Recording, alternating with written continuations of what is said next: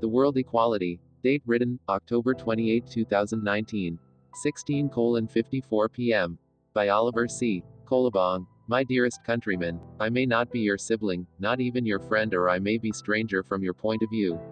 I am your brother's keeper, I am here to say that your body is belongs to you, and the world is yours to live for a while, nothing will change about it.